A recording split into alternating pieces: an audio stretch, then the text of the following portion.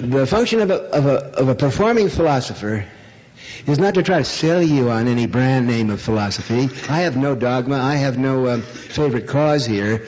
I have one cause, and that's the goal of a performing philosopher, is to encourage you and um, inspire you and um, empower you to the extent I can to think for yourself and question authority.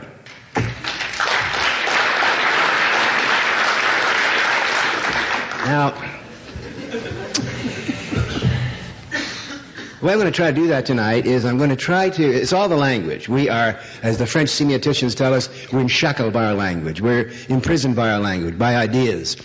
And so what I'm going to try to do is to, um, with as much clarity as I can summon here, uh, and zap on and to laser and to warm up and to buzz and to tickle and to stimulate the shackles of language that are tying you to any particular religion or any particular political party.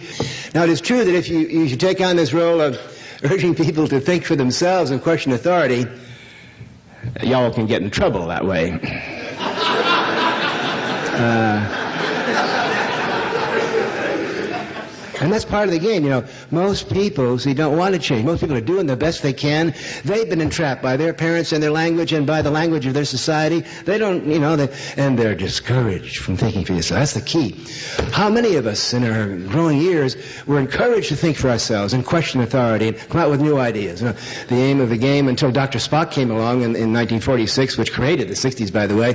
Dr. Spock was the first person that told parents, hey, your job is to teach your kids to be individuals and to encourage your kids to be individuals and to treat your kids as individuals. Oh, jeez. When he said that, that's the most subversive statement you can make. Talk about anarchy. Forget it.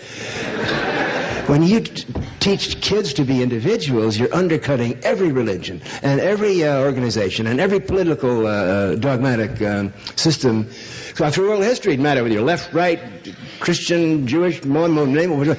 Everybody who had an organization agreed you had to take kids and get them to line. The kids are little wogs, they're little animals. You got to get them with a with a carrot and a whip. You got to get them to conform and join the the, the pack.